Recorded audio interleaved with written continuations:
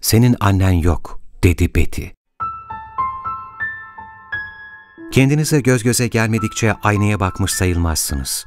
Betty öğretti bunu ve ben aslında aynaya bir bütün olarak kendime, özellikle gözlerime hiç bakmadığımı fark ettim.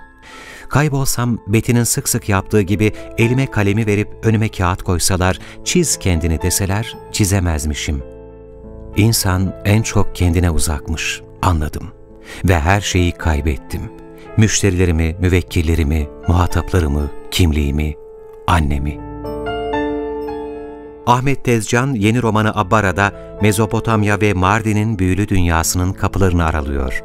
Abbara, Ketebe yayınlarından